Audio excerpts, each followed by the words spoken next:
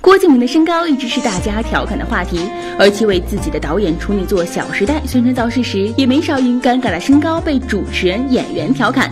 近日，就连上海某影院也开起了郭敬明的玩笑，在微博中发布了一张影院的宣传海报。海报上印着郭敬明 PS 版人像，人像旁边写着一段话：“同学们，快来测量自己的身高，身高没有超过我的朋友，你们有福了。身高低于一点五米的观众可享受半价优惠看《小时代》。”此内容一发，立即引来观众网友的热议，大家纷纷对四爷一五零的身高产生了兴趣。不过，作为八零后的一代人来说，他已经是文学巨匠了。对于此次影院的私人行为，郭敬明方面表示要求影院撤下海报。郭敬明本人也对此大度表示不以为意。郭导小小身体里爆发出的强大力量，着实震撼众人呀！